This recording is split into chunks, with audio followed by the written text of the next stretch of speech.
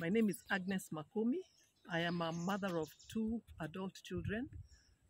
I am a practicing family counseling psychologist.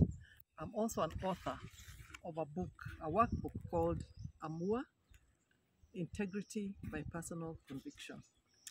Amua means to determine, to decide by personal conviction. Amua offers to address lack of integrity in our society and what might be the cause.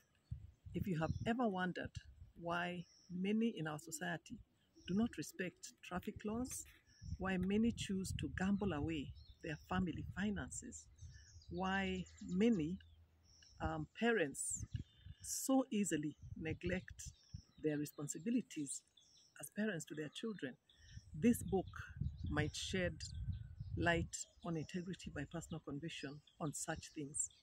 Now, Amua is a book for all ages aimed at instilling godly values included in the 10 values that are included in the book Amua.